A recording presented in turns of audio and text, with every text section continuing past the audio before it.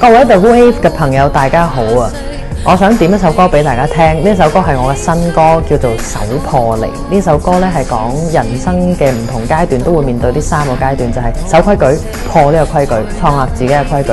你係創業中嘅人，我相信你會更加明白呢幾個階段嘅心路歷程係點嘅。我可以分享少少我心路歷程，就係我希望你哋記得，就算你做緊嘅時候驚，唔等於你唔得，加油！